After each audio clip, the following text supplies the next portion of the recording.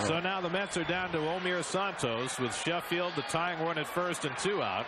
Santos had a base hit to right center in the seventh off Beckett. He's one for three. Two to one Boston, top of the ninth.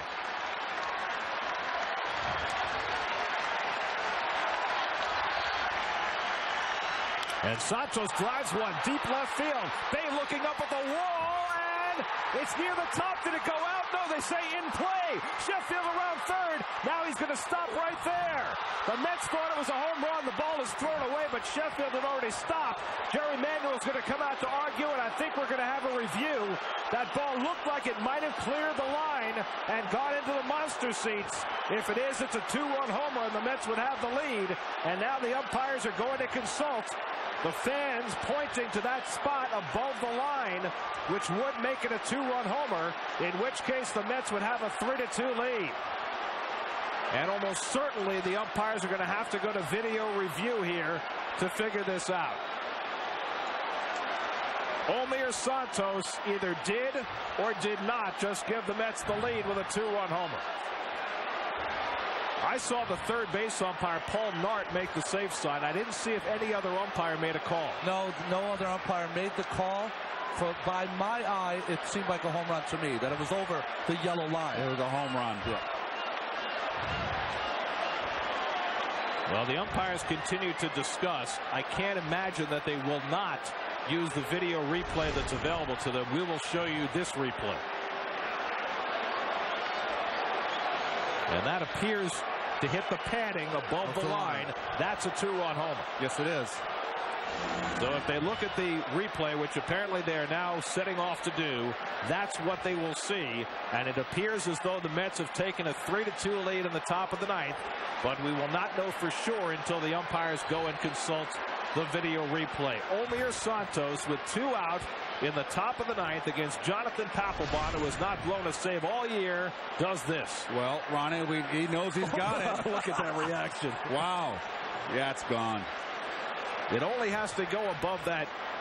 Well, it's red. It's a red line with a little yellow on top of it. He knows he hit it, but he didn't get the call. Paul Nauert signaled safe.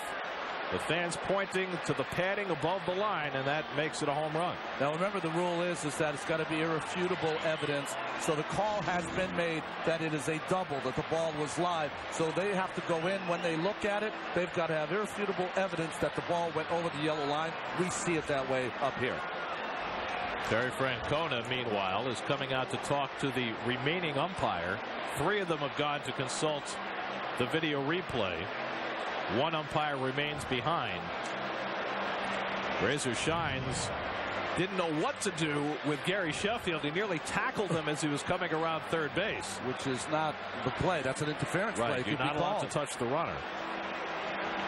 And then, as it turned out, the throw back in got away. So if the ball was indeed in play, you could add all sorts of permutations there. But it certainly appeared from the replay that we showed that the ball was out and that the Mets have the lead. Here's Sheffield.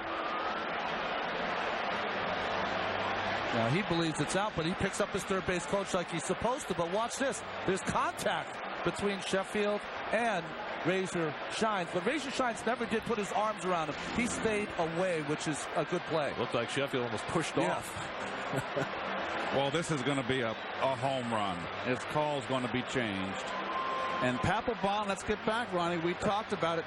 Inside fastball, late one-run lead. Well, he got away with it once. He didn't get away with it twice. Yeah, don't like that pitch. And he's regretting that pitch right now. If it is a home run, it'll be the second Papelbon is allowed. They're And back now the umpires are coming out, and it's a home run! A two-run homer for Omir Santos, and the Mets have taken a 3-2 lead in the top of the ninth inning.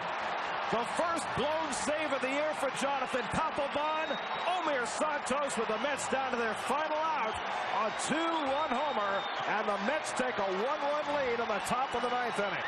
Well, how about Jerry Manuel rolling the dice, not putting Tatis or Castro up there, taking a chance with Omir Santos, who ends up with the longest home run trot in Mets history.